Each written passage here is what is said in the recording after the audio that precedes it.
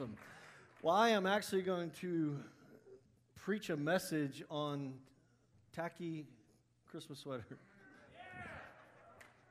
I've actually entitled this Finding the Christ in a Tacky Christmas. And Christmas is a time of celebration of the birth of Jesus. We all have reiterated this this morning. But we understand that Jesus wasn't born on December the 25th. Nevertheless, it is the day that we have set aside to celebrate that day and to celebrate the significance of Jesus coming into the earth. And so we look at it and we can see that the world has taken this very important moment for Christianity and they have marketed it and they've commercialized it and they have created some pretty tacky things to go along with it. Kind of like this sweater, right? Kind of like well, I won't mention any names on the, in the place. But we look around and we can see a lot of tackiness as it relates to Christmas.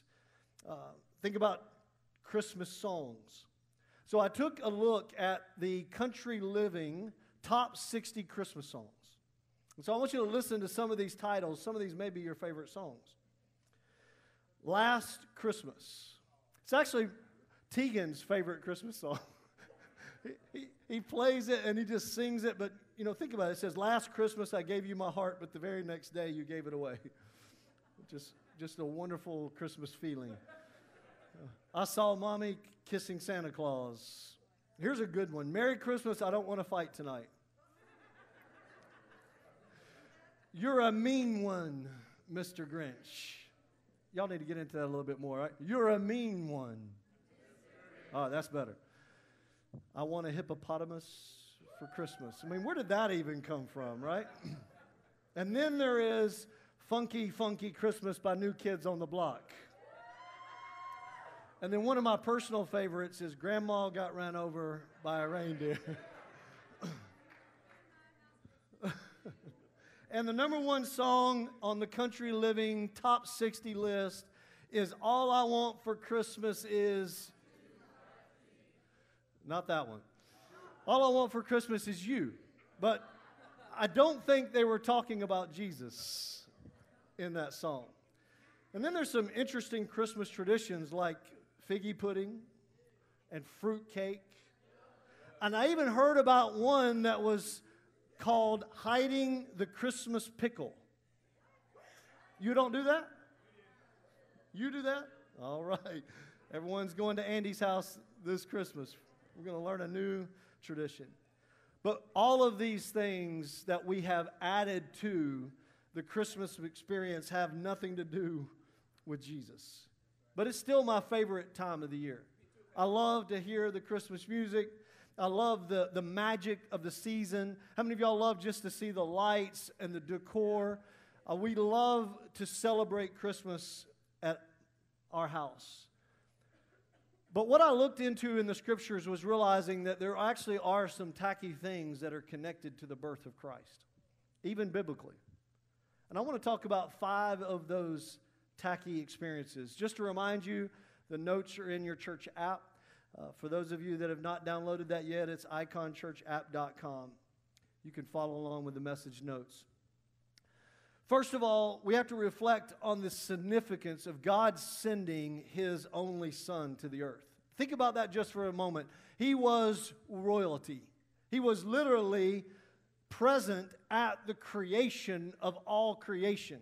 He was the Son of God. His name is above every name. And so you could expect that when God decided to send Jesus into the earth, that people would come and there would be great fanfare, there would be great honor. He would be ushered in with pomp and circumstance. And, and so I, I wonder what we think about whenever we imagine that moment when God released and he birthed Jesus into the earth. I mean, everyone should have known that God had shown up. Everyone should have realized that the Son of God had entered the earth. But we know that's not exactly the way it happened. The very first tacky thing that we find is that no one was prepared for him. No one had room for him. In Luke chapter 2, verse 4, if you want to turn there with me, I'm going to go through a few verses this morning. I'm not going to take you longer than three hours today. It's going to be a, a, a short message. Luke chapter 2, verse 4 through 7. Joseph also went up from Galilee and from the town of Nazareth to Judea, the city of David, which is called Bethlehem. I just read this to the kids. Because of the house and lineage of David. Remember, that's King David. To be registered with Mary, his betrothed, or in our understanding, engaged, and who was with child. While they were there, the time came for her to give birth, and she gave birth to her firstborn son, wrapped him in swaddling clothes, laid him in a manger, because there was no place for them in the inn. This is his beginning. Literally, there was no room for Christ to come. There was no place for him. There was nothing and no one that had set aside and made room for the King of Kings, the Lord of Lords, the name above all names, the one who was at the beginning of all things. Now there is no place for him to re enter the earth. There's no place for him in the end. It's interesting, the word end there makes me think about kind of a little hotel or a motel. That word could also mean guest room. So there is the indication that it isn't even as unpersonal as a motel room that doesn't even know Jesus, who has no room for him. It could even be implied that even their own family members didn't have room in a guest room. So humanity had created no space for a Savior to come. Mary and Joseph and this soon to be baby were disregarded and not given priority. Jesus was born into a family with no significance. They weren't popular, they weren't rich, they had no political influence. God had chosen a nobody family in a nobody place to begin his divine royal family. And so then we have to think about not only did they not have room for him, but the king of Israel actually wanted to make sure that no one would ever make room for him. That's our second thing that was tacky as it relates to the birth of Christ. And that is, King Herod was used by the enemy to try to stop the very plan of God. Go with me to Matthew chapter 2. Are you still with me? Matthew chapter 2, verse 1 through 8, we see the story here. And it says, Jesus was born in Bethlehem in Judea in the days of Herod the king. Behold, wise men from the east came to Jerusalem. And so they were saying, Where has he been born, the kings of, of, the Jews? Because the wise men had been watching and they had been waiting for the Messiah to enter into the earth. And they recognized that that moment had come. And so they're trying to find him. And then the word got to the king that another king had been born. Now, realize that's significant. Because there can only be one king. And so King Herod, it says, it, he was troubled, verse 3, and all Jerusalem with him. And assembling all the chief priests and the scribes of the people, he inquired of them, Where was this Christ to be born? In Bethlehem of Judea, for as it is written by the prophet, And you, O Bethlehem, in the land of Judah, are by no means least among the rulers. And from there you shall come forth a ruler. Go down to verse 16. I'm sorry, verse 8. He sent them to Bethlehem, saying, Go and search diligently for the child. And when you have found him, bring me word. Now, notice what he does that I may too go and worship him. Verse 16. Then Herod, when he saw that he had been tricked by the wise men, became furious, and he sent and killed all the male children in Bethlehem in all the region that were two years old and under, according to the time that he had discovered by all the chief priests and the scribes and the wise men.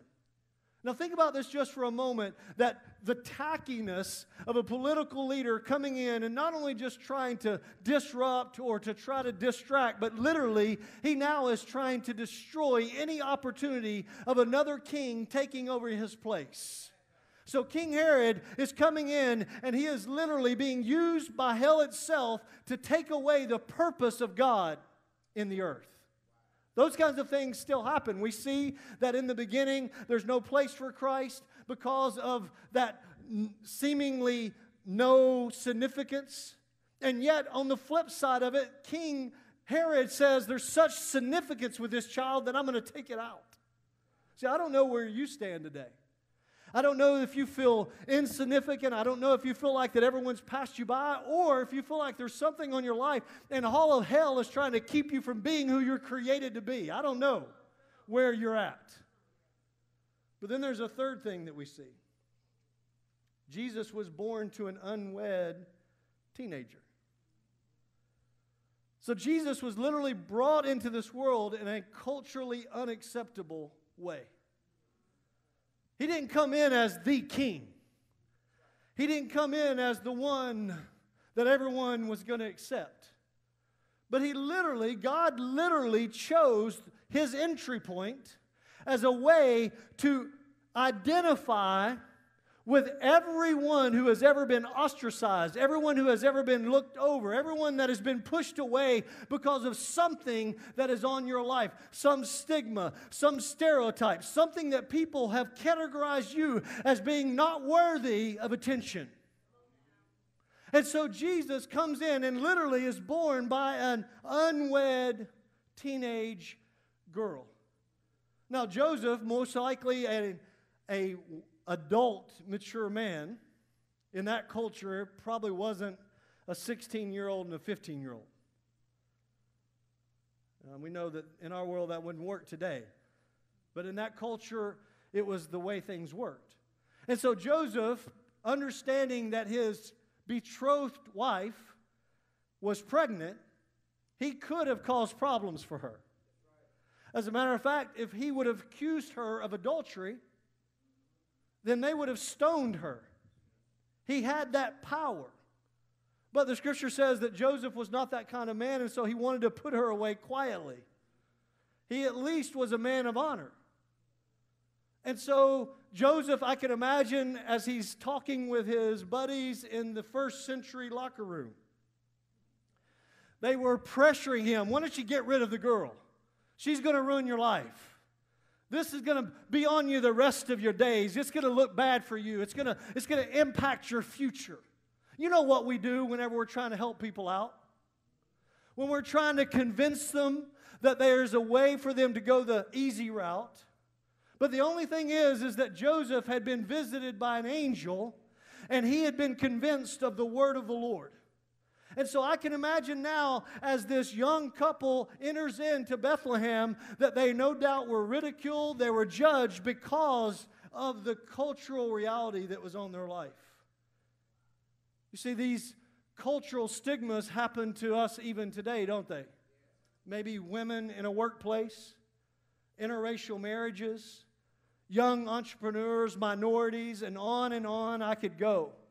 But somehow, even the religious people have chosen to reject them and push them out as if they don't have a place. But I think that's perhaps why God chose to put Jesus into a situation where nobody would accept him because of what he looked like. And so he could adopt and he could bring you into his family and say, no matter what's on your past, no matter what they say about you, no matter who pushes you out, you are a significant place in my life. You are my child, and I want to bring you into your purpose and your destiny.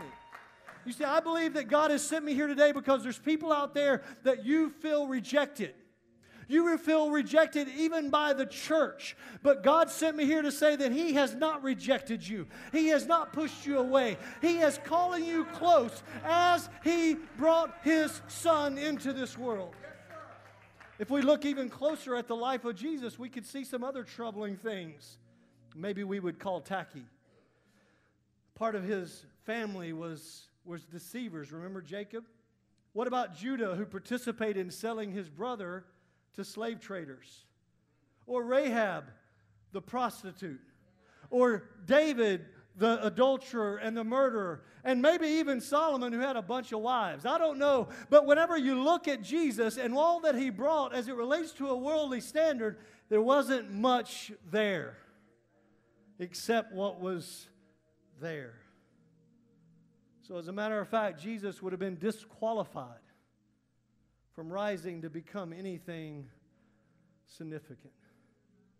So, what disqualifies you this morning? What has said to you that you will never make it? That you don't have what it takes? that you don't have the lineage, that you don't have the family name, that you don't have the gifting, you don't have, you've done something you shouldn't have done. Maybe your daddy did something that's over your head. I don't know what it is. But Jesus and the message of Jesus Christ is saying to you that you are not disqualified. Here's number four. Lastly, Israel didn't even believe in this miracle. Israel was supposed to be the people looking for the Messiah, and they looked right past him. Mark chapter 6, verse 3, it says, Is this not the carpenter's son? The son of Mary and a brother of James and Joseph and Judas and Simon, and are not his sisters here with us? And notice that it says this it says they took offense of him. So not only did they disbelieve him, but they literally took offense at him. He wasn't wealthy. Israel was looking for a king of their making. And they were unwilling to submit to another way. See, I also believe there's some people here that you're looking for God to show up in your life your way. You're looking for God to do it the way that you have prepared for Him to do it that you have got it all figured out that whenever this happens, then I'm going to follow Jesus. That whenever God does this for me, or whenever God shows up in this way, and if God will do this for me, then I will obey Him. But see, this is the problem. The entire people of Israel looked past Him. The entire, entire nation of Israel said, I don't see Him.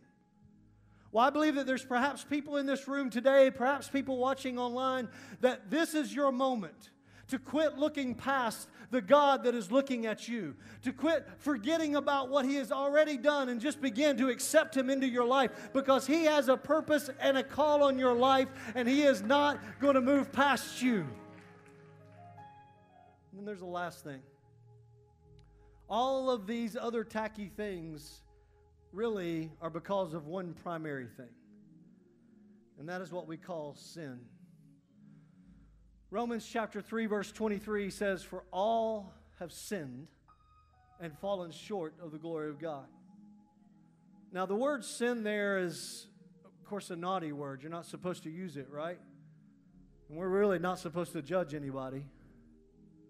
But the reality is, is all of us are infected by it or have been. The word sin there literally means to miss the mark. It just means that you're off course on what you were called to be, who you were created to be. It doesn't mean that you didn't memorize scriptures, it doesn't mean that you don't attend church. Those are just symptoms of something deeper. And it's this sin in us that causes us to miss the true meaning of Christmas, that causes us to miss the true opportunity that God wants to work in our lives. And there's a scripture in Romans chapter 5, verse 12, and it says this Therefore, just as sin came into the world through one man, and death through sin, so death spread to all men because all sinned. You see, the only way to not be infected by sin is to not sin. Now, how many of y'all have never sinned? At least we have some honest people, right? I mean, all of us have sinned if we were truly honest with ourselves. If we were to look at the Ten Commandments, which they've taken down, if we would just investigate even cultural norms in the sense of what's right and what's wrong, all of us could probably be indicted even this week. I know I'm pushing a little bit close to home right now, but the reality it is is that sin is what separates us from God. And it's not an action, it's not a behavior, it's literally an aspect of our heart that separates us from a relationship with Him. You see, God did not send Jesus to make good people. I don't think you got that. God did not send Jesus into this world in the way that He sent Him in order to make good churches. We're not here just to have good praise services so that we can honor Jesus coming into the earth. Jesus came into the world so he could change everything about your life, so that he could rewrite your history, so he could awaken in you what had died. You see, some of you are dead inside. Yeah, you look good in your tacky Christmas sweaters. Yeah, you look pretty this morning. But if we were being honest with each other, you would tell me, Pastor, I'm dead inside. But there is a Jesus that came back to this earth 2,000 years ago, and He has come to awaken you to your purpose and to make you come alive again, afresh and anew.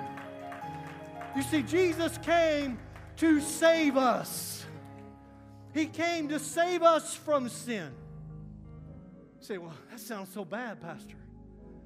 It's only bad if you don't let Him save you.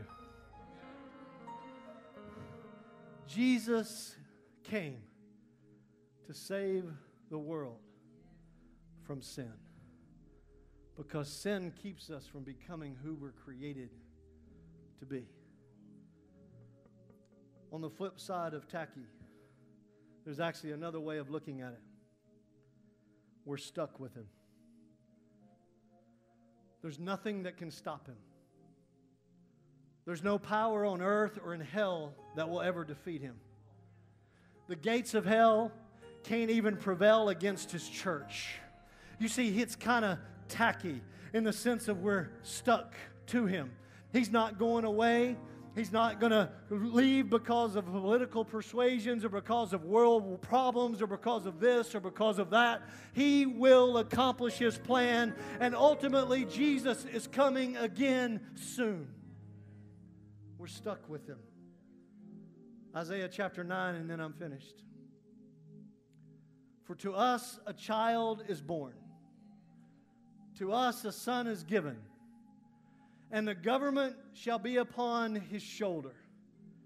And his name shall be called Wonderful, Counselor, Mighty God, Everlasting Father, Prince of Peace, and of the increase of his government and peace, it says this there will be no end.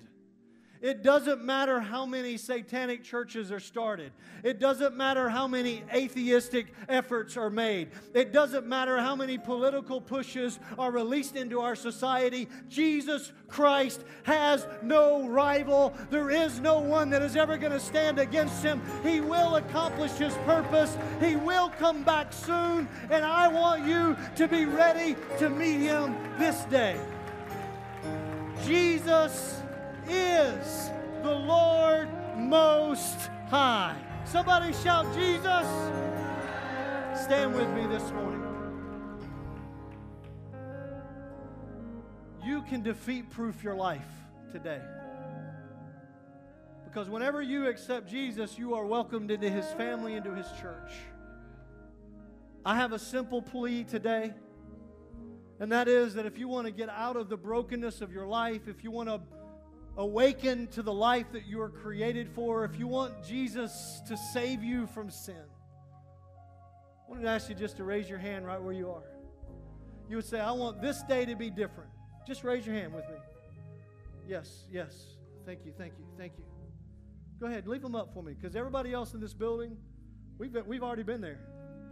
Tell you what, let me do it this way. If you have accepted Jesus and asked Him to save you from your sins, raise your hand. Look at that.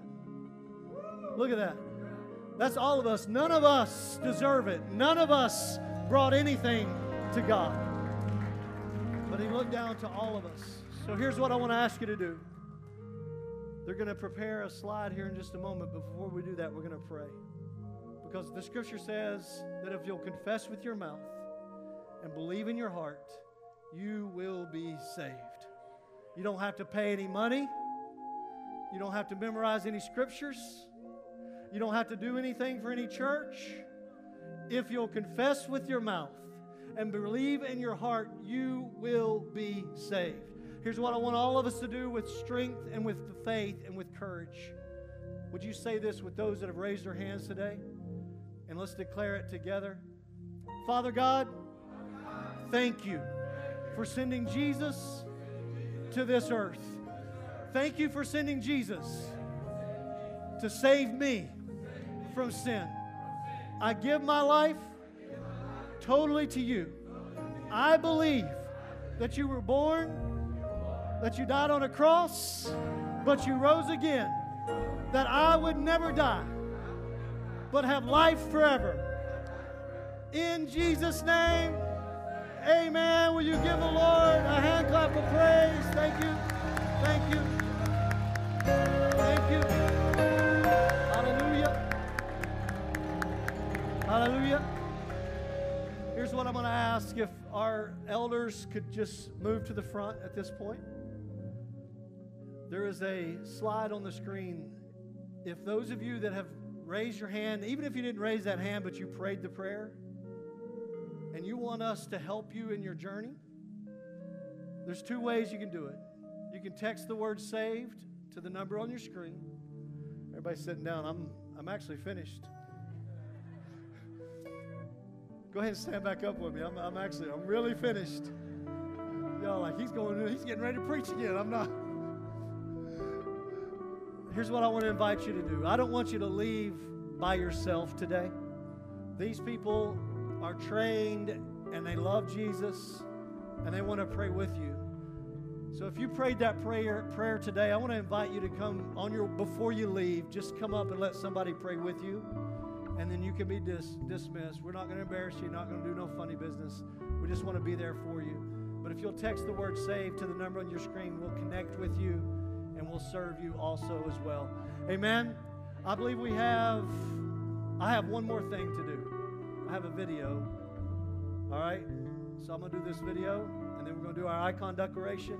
After our icon declaration, those of you that prayed that prayer, please come down and have a conversation with somebody. All right, guys. Thank you so much for coming this morning. If you could, just give a hand clap for our pastor for allowing God to use him this morning in his message. Also, I want you guys to make some noise for those people who gave their life to Christ today. Come on, make some noise for them today. Awesome. So we're going to go ahead and do our iconic declaration. I want you guys to remember that we're not going to have service on Wednesday. Why? Because it's Christmas, right? And also, next week we're gonna have our New Year's service on the 31st. So be here at 8 o'clock. We're gonna have games and fun and karaoke. So make sure you're here on time so you can be a part of all that fun. All right, so let's do our iconic declaration. It's in my DNA to be iconic. I will imitate Christ, care for others, overcome every obstacle, and never give up. We are Icon Church. You guys have an amazing Sunday afternoon and a Merry Christmas.